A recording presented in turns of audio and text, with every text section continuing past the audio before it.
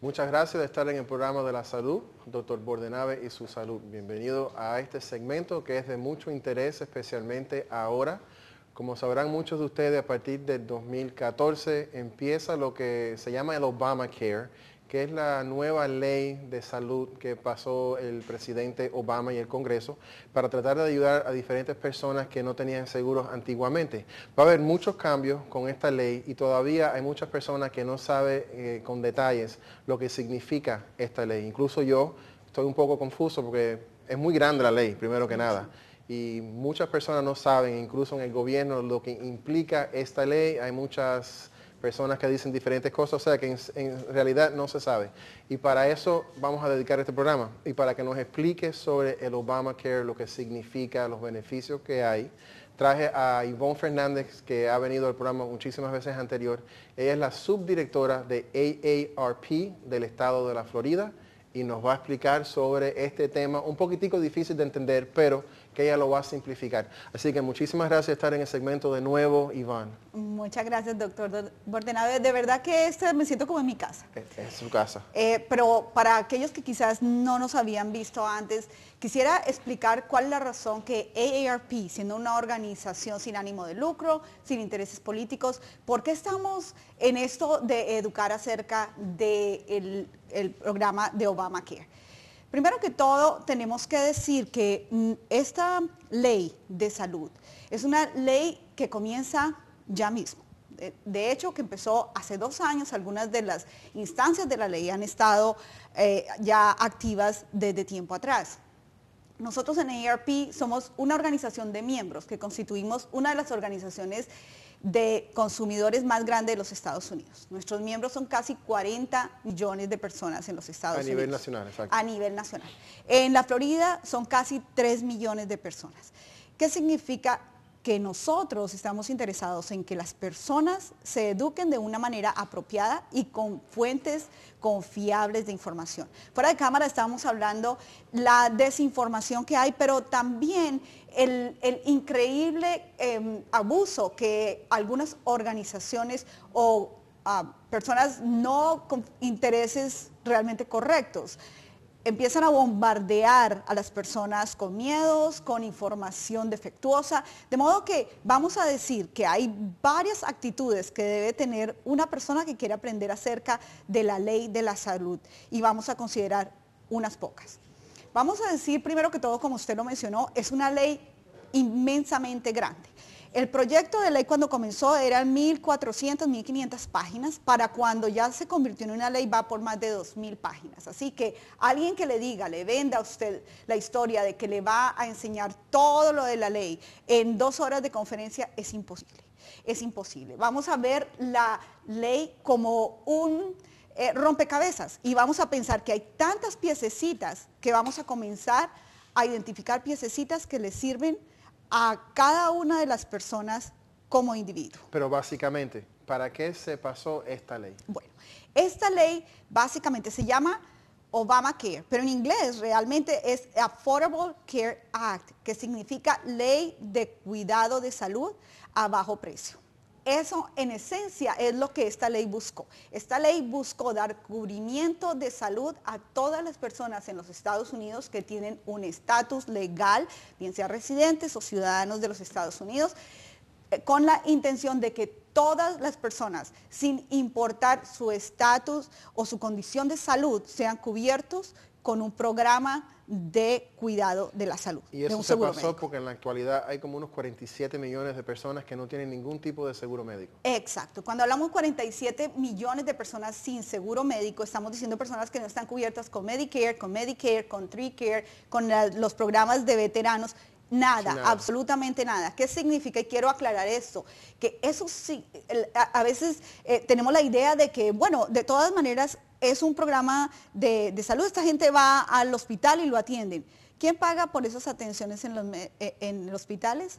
Los, tributos. Entonces, los impuestos, como quiera, van a cubrir las necesidades de salud de aquellos que no tienen cubrimiento en salud.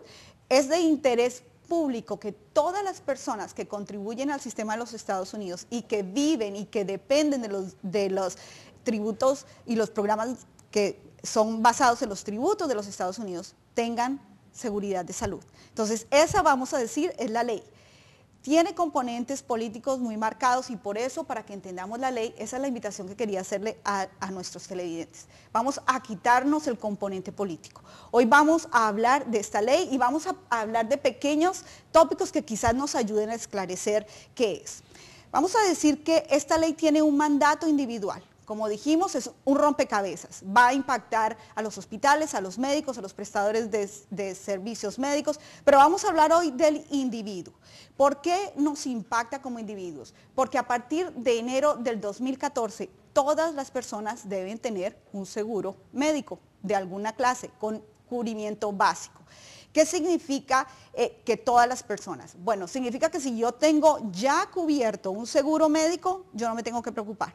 Ya está cubierto, la ley, estoy bajo la ley. Si tengo Medicare, Medicare, em, em, cualquiera de los servicios médicos que son componentes de planes de retiro, son válidos bajo la ley. Aclaración, personas que ya actualmente tienen Medicare, ¿Eso le afecta a ellos o ellos se quedan con sus planes? ¿No se toca eso? La ley solamente establece algunos cambios para Medicare en cuanto a fortalecer los servicios de prevención que reciben. Pero esas personas que tienen el Medicare no se tienen que tienen que hacer nada, y hacer nada. Y, por eso es una de las personas que quiero que ahora mismo, si usted tiene un Medicare, si usted lo llaman y le dicen que lo afecta la ley de salud, no dé su número, por favor. No den datos personales en el teléfono. No, ninguna agencia federal lo va a llamar a pedirle un dato personal en el teléfono. Eso no es real, no lo haga, usted no tiene que hacer cambios. Si hay algún cambio va a venir en sus documentos normales de rutina del Medicare,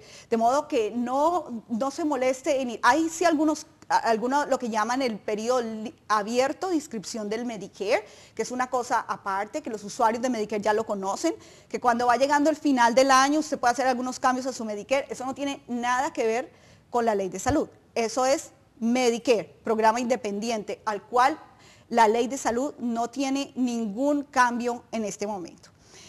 Bueno, vamos, otra pregunta que yo recibo mucho es, ¿cómo yo sé si el programa de medicina que me cubre a mí está bajo la ley? Esto es un poquito tricky, especialmente aquí en el sur de la Florida, porque en el sur de la Florida existen muchas clínicas que eh, eh, han durante muchos años dado servicios de descuentos. Eso no es un plan de seguridad médica a menos de que usted lo encuentre en un sitio que más adelante vamos a hablar, que es el mercado de salud, que va a comenzar a operar a partir de octubre primero. Si ese plan que usted está pagando de descuentos no se encuentra en ese listado, quizás usted deba buscar un seguro médico.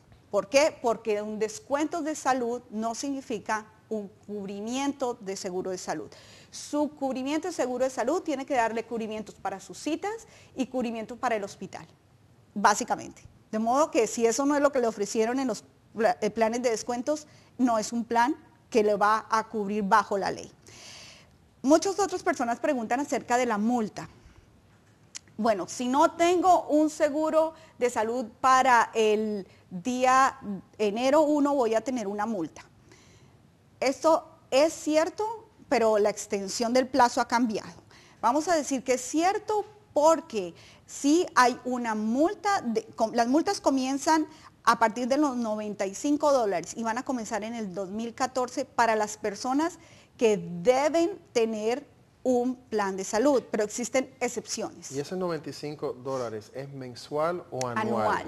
Anual. entonces lo que los televidentes tienen que saber es que si, bueno, este plan a partir de enero del 2014 todas las personas, incluso las que personas que no tienen seguro, que no están empleados, que no están trabajando, tienen por ley que comprar una forma de seguro médico. Ahora, para esas personas que son de bajo ingreso, que no tienen trabajo, el gobierno lo ayuda a comprar su seguro, le da como cierto... Para todos. Exacto, pero todo el mundo tiene que tener un seguro personal, porque si no es cuando entra la multa que va de 95 dólares, creo que hasta varios cientos de dólares. Eso depende del nivel de ingreso. Va desde 95 dólares o el 1% del ingreso anual. Pero eso es una clave, que todas las personas tienen que tener seguro. Sí, todas las personas tienen que tener seguro.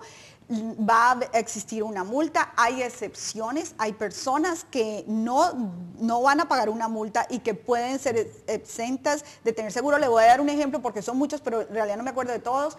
Un ejemplo son las personas que por, em, por componente religioso no creen en, los, en los servicios médicos, por ejemplo. Entonces vamos a decir personas naturistas o que tienen algún tipo de fe, que, eh, resisten a tener tratamientos médicos ortodoxos, entonces ellos son personas que, que van a estar clasificados por fuera de la excepción, no tienen que pagar eh, Pero usted no ve que a lo mejor en el futuro va a haber muchas personas que se van a determinar como por problemas religiosos no van a querer comprar la, la Usted sabe, eh, doctor, que Porque eso puede ser también una estafa o vaya, una manera de no tener que eh, comprar. doctor, yo, yo soy de un, de un país suramericano que se llama Colombia y allá decimos que echa la ley, echa la trampa. Ah. Con toda seguridad que va a haber muchas maneras de caminar por debajo de la ley. Pero estamos hablando de personas que son legales, que mantienen su estándar de vida bajo las condiciones de la ley.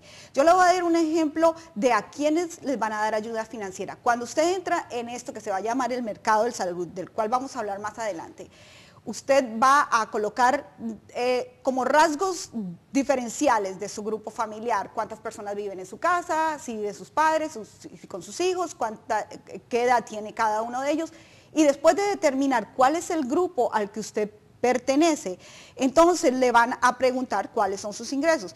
Tengo aquí, por ejemplo, para personas entre 11.500 o 46.000 dólares al año de ingreso, por una sola persona, hay créditos financieros. Significa que el gobierno da un aporte para que usted pueda pagar su, su seguro. Para familias de cuatro, entre los 23.600 y los 94.200 eh, dólares de ingreso anual, también existe una ayuda financiera. Existen programas gratuitos para personas que están incapacitadas, que tienen problemas, son las excepciones. El asunto, que hay asistencia para todo el grupo económico para facilitarle que ellos puedan conseguir un seguro médico. Y esto es solamente una de las pocas áreas que vamos a tocar cuando vengamos ahora de comercial con la Ivonne Fernández del AARP Florida. Quédese con nosotros que está muy interesante este tema que nos va a afectar a todos. Y estamos hablando con Ivonne Fernández, que es la subdirectora del AARP de la Florida, sobre el Obamacare que nos va a afectar a todos para ver lo que significa esta ley de salud que, va, que pasó ya y que nos afecta a partir ahora del, 2014. Sí. Eh, y bueno, antes de comenzar estábamos hablando sobre diferentes puntos del Obamacare. Por favor, eh, síguenos hablando sobre él.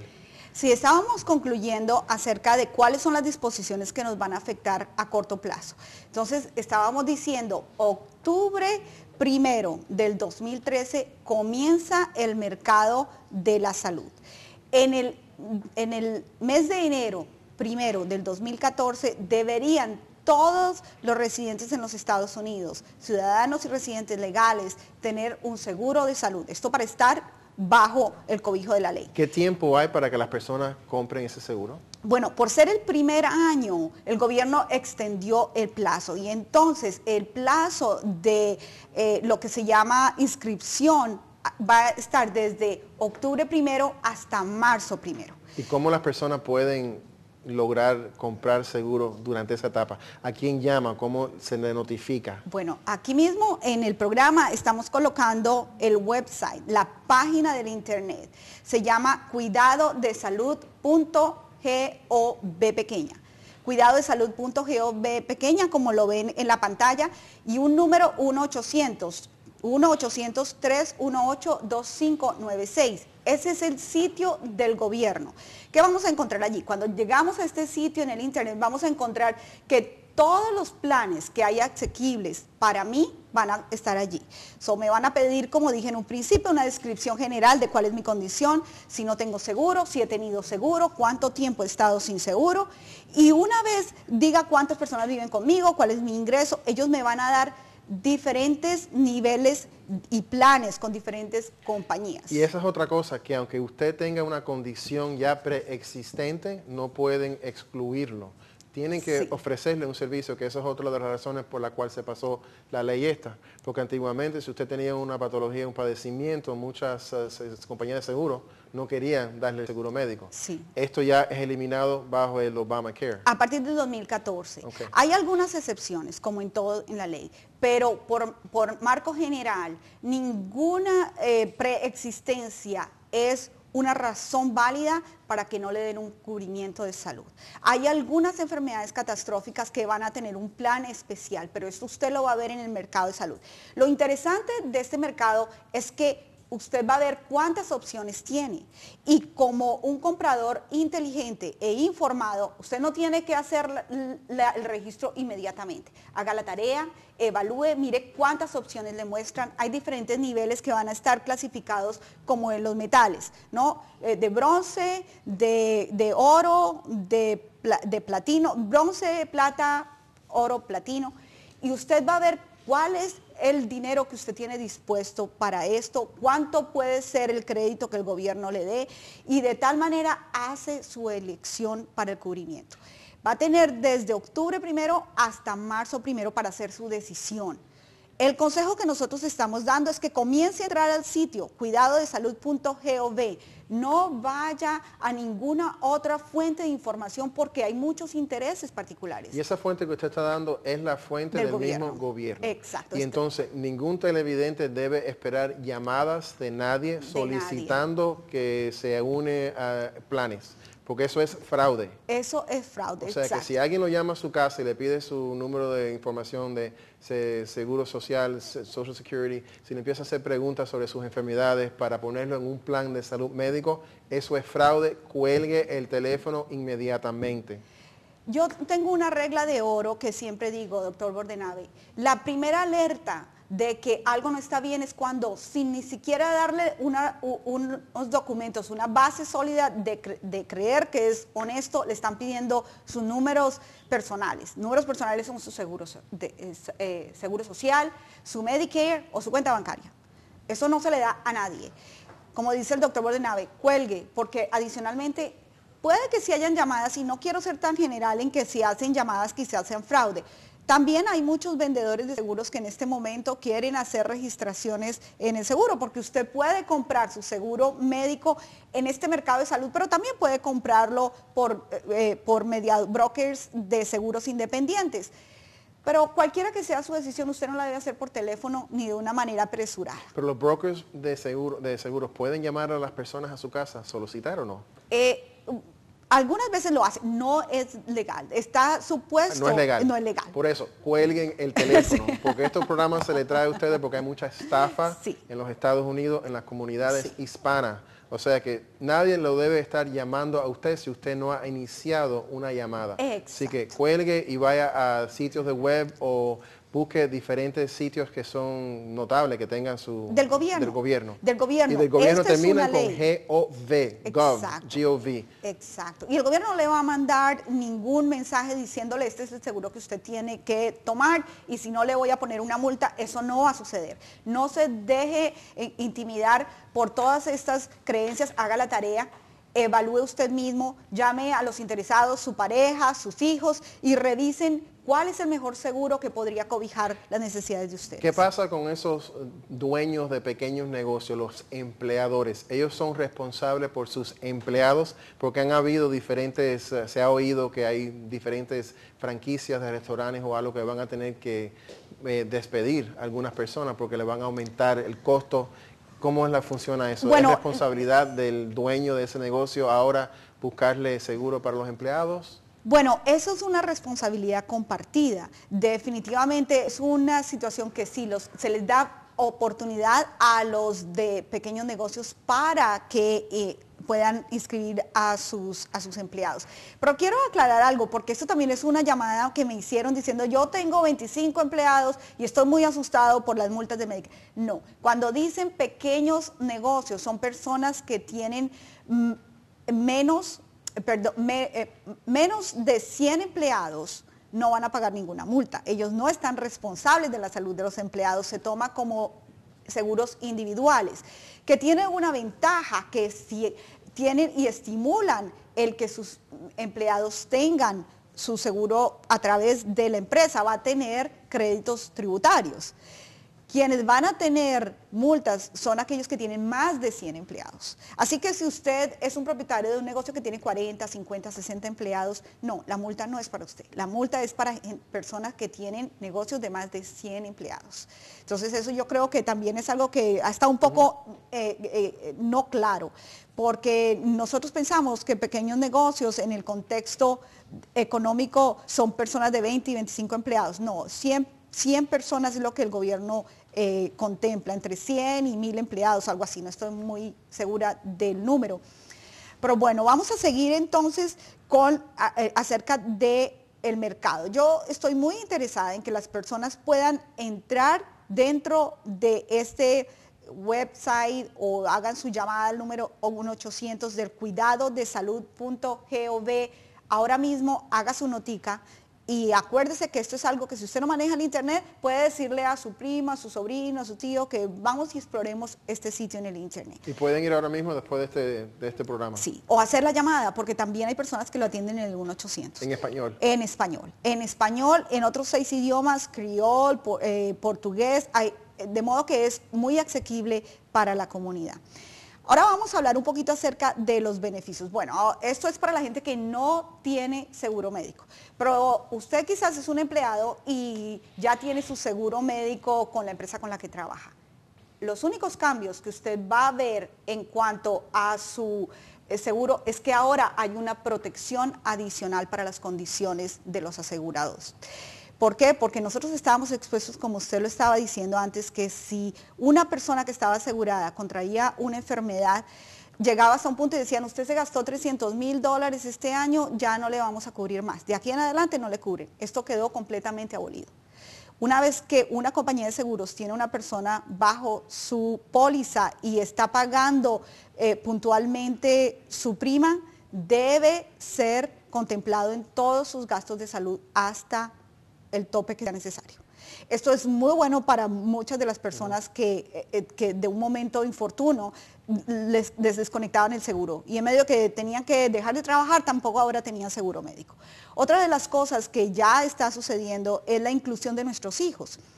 En seguros anteriores, las compañías, hasta si eran seguros grandísimos de grupo, ellos excluían personas, especialmente niños, que tenían enfermedades preexistentes, como cáncer o, enfermedades neuronales, ellos los excluían del seguro. ¿Qué sucedía? Que entonces los padres tenían que ahora buscar Medicare y, Medicaid y todas las ayudas del gobierno, pero ahora la póliza está obligada a mantener a los menores de edad sin importar las coexistencias, hasta si cambia de un seguro a otro, que eso era otra cosa que sucedía. El padre estaba desesperado en el trabajo, pero si el niño era un niño con una preexistencia, no se movía porque perdía el seguro. El costo de los seguros es si una aseguradora va a cambiar, eso es algo que me han dicho mucho, ahora los seguros se nos van a disparar. No. Aumentos de más del 10% en las primas deben ser justificados. O sea que no puede haber un aumento así exorbitario como hacía antes. No puede ser que yo pague este, este año 4 mil dólares por el seguro y el siguiente año me van a cobrar 5 mil 500. Eso no existe. Va a ser muy interesante ver lo que sucede ahora con esta ley nueva que nos va a afectar a, todos porque ya pasó, ya es ley. Eh, para estar claro, para, hay personas en gobierno republicano que están tratando de dilatar, están tratando de cambiar algunos aspectos. El propósito no es político en este programa, sino más bien tratar de comunicarle con ustedes lo que va a suceder porque viene nos va a afectar a todos. Puede ser que usted sea partidario de los cambios, puede ser que no sea partidario, pero viene por ahora. Eh, Esto es nada más que tocando las básicas. Exacto. Recuérdese que no permite que nadie los llame a su casa, solicite su información, solicite que usted se une a cualquier tipo de seguro de salud. Usted es el que tiene que tomar la decisión, ir al website, como ven en pantalla, cuidadodesalud.gov. También creo que el aarp.org sí. puede ir también, que es una, eh, como bien dijo Ivonne, es un sitio de web sin Ánimo de lucro. ánimos de lucro, que te van a dar información seria. Averigüe, estudien. Esto no se va a poder resolver de un día a otro. Usted tiene que empaparse en lo que quiere decir para ver qué aspecto de la ley le conviene más a ustedes. Ha sido un programa interesante, poquitico corto. Siguen investigando. Quiero darles las gracias Ah. por venir y compartir con nosotros como siempre. Como siempre, esta es su casa. Muchas gracias, Ven y hacemos otro segmento a ver después cómo va con el Obamacare, si ha habido algún cambio. Mucho que hablar, sí. Y a ustedes muchísimas gracias. Espero que esto haya sido algo interesante para usted, que hayan aprendido algo como yo siempre aprendo con mis invitados. Así que nos vemos la semana que viene. Muchísimas gracias por estar con nosotros.